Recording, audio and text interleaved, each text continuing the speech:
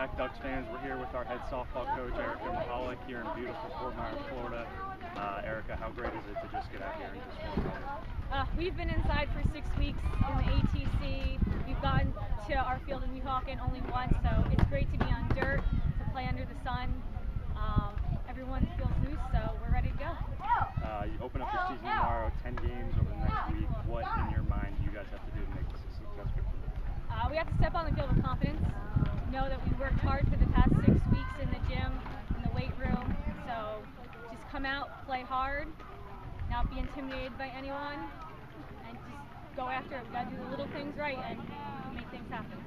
Be sure to follow the team all week long on StevensDucks.com. We'll have live stats and also on Twitter at StevensDucks. Thanks, Coach.